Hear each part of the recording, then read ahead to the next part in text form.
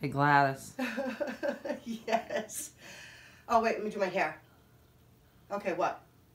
What, what is that robe made out of? Oh, the seersucker.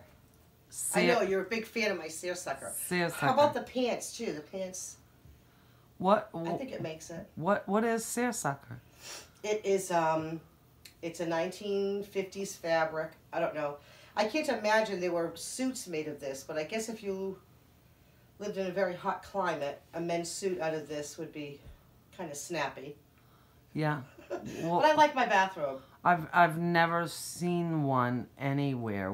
Where do you, where do you get I think one? I bought it from your neighbor's yard sale. What neighbor? The lady, the old lady next door, Oh, Tiny? tiny. Yeah, How, how old is she? she's gonna be eighty. Okay. I love it. Okay.